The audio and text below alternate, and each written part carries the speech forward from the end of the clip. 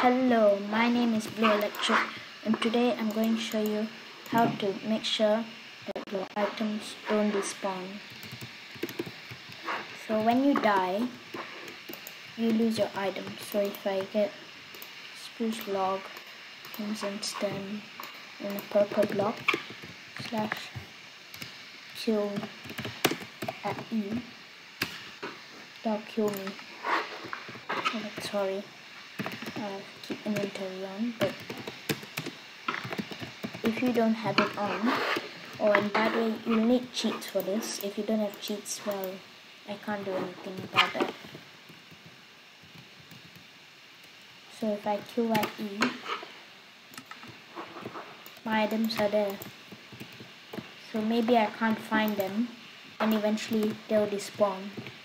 So basically what you what I'm going to do is would be let me just go get it.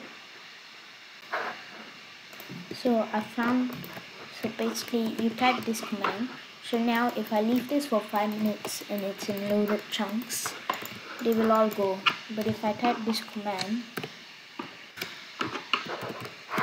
all blocks that are on the ground will not despawn until I pick them up now if this includes all items so more stuff and all so once you found your items and get them I recommend you to do slash kill at e square bracket type equals minecraft